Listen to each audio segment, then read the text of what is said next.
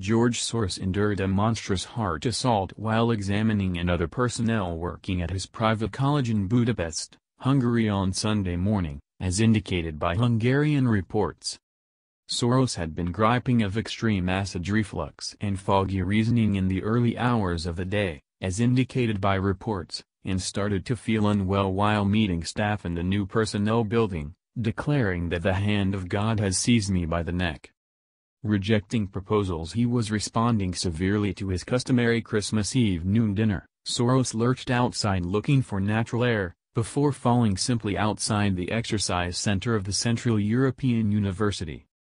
The globalist extremely rich person, who as of late gave $18 billion to universal liberal causes, crumbled against a divider, before drooping to the ground where he was discovered lying on his side, fussing delicately.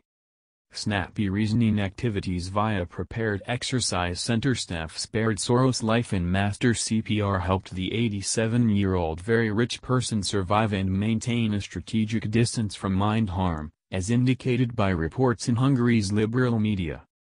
Following 15 minutes of CPR the paramedics arrived and assumed control.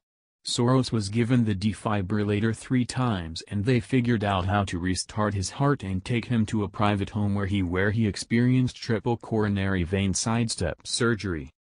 Soros' private heart expert has supposedly given the world's most liberal giver to radical causes a little more than 33% possibility of survival and cautioned the octogenarian he may require an implantable cardioverter defibrillator, ICD, in his chest to manage his heart.